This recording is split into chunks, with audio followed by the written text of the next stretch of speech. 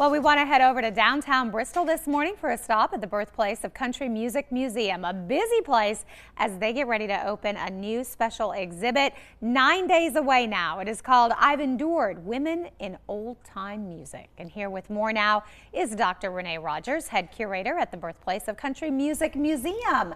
Always fun to have you on the show. I'm glad to be here. Thank you. So this is sort of new territory for you guys, kind of putting it together in-house. Yeah, we've done some smaller exhibits um, in the past, but this is one that we've been working on for the past two years, and almost every aspect of it has been done in-house except the actually actual build of the exhibit. That is exciting. Yes. So at this point, it's kind of coming in, and you're getting ready to set it up. What's that been like?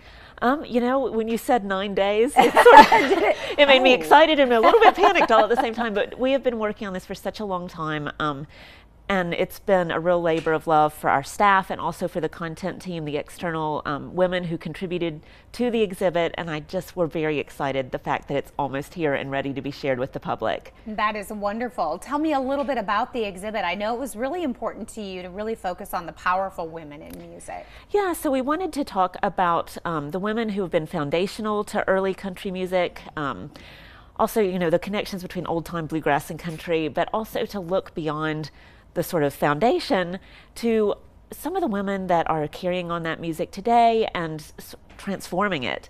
And so we spent a lot of time actually talking to contemporary female musicians who shared the inspirational women who had sort of made them want to be in music and who were giving them those aspirational goals to make themselves musicians in that field, but also um, to talk about some of the challenges they might have faced and what they envision for the future. So it's been a real chance for us to, to talk about people that people might have heard of, you know, people like Maybelle Carter, Ola Belle Reed, Lily May Ledford of the Coon Creek Girls, but also bring in some of those hidden heroines from both the past and the present who are making a real difference to the genre.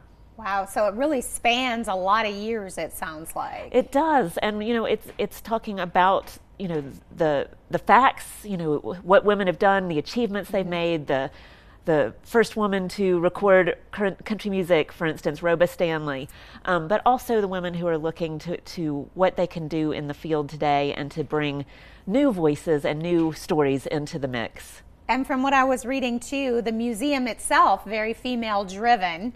So yes. this had to be kind of a neat bonding maybe experience for you guys as well. It has, you know, it's been um, primarily the content team was mostly women, and we had a couple of men um, who were with us. Uh-huh. But we've also been very fortunate that we had some women led sponsorship for the exhibit with both local businesses and organizations and quite a lot of grant support. We've been so fortunate mm. that people have been inspired by the idea of this exhibit and really given us a lot of um, in kind and financial support to, to make it a possibility. That's really cool. And I understand it's going to be here for the year and yes. then thinking it might even do some traveling. Yes, this is the first time we've created an exhibit that we're actively trying to get out into the region and share with venues beyond the birthplace of country music. So we'll be mm. sharing the information about that with venues both locally and maybe even further afield. And at the same time, throughout the year, we'll be doing a lot of programming to sort of carry on that story beyond the, the exhibit itself.